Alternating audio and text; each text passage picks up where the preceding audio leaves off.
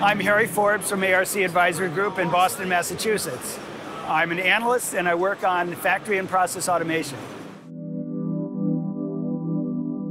What's going on is that a lot of changes are coming in a very short time. We're seeing, we've seen changes in computing, we're now seeing big changes coming in networks, and this is going to have a huge effect on manufacturing, and manufacturers need to be ready for this. If you try to hang on to old models for too long, you're going to become obsolete.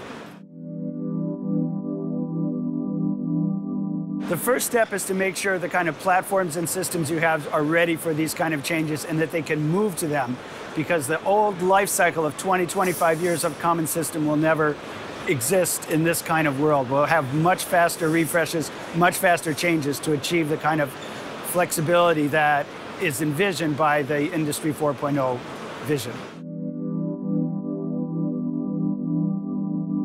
Even if you cannot see the rewards immediately, you have to be coming up to date because the rate of change in the industry is going to be very high in the next five years.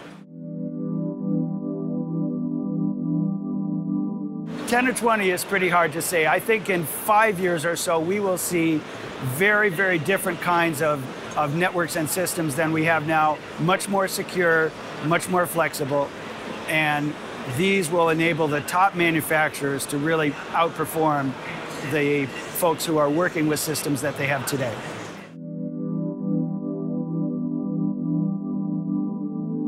this is a good thing because this kind of technologies also shrink down to a smaller scale than traditionally has happened in the past so that small and medium uh, manufacturers can compete effectively, much more effectively than they could with technologies that were adopted 10 or 20 years ago.